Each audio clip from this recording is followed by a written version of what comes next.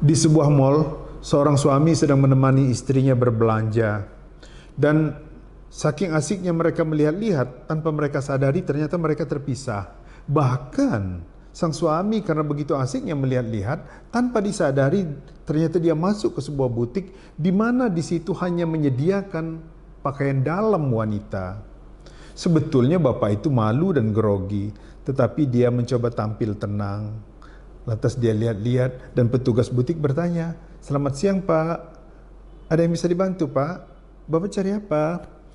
Nah, kebetulan di depan bapak ini BH, ada BH-BH. Lantas dia tanya, hmm saya cari ini dek, saya cari BH.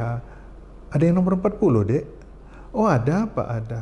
Oh, kalau harganya berapa? Kalau harganya kisaran 1 juta sampai ke 2 juta pak. Kalau yang bagus 2 juta pak.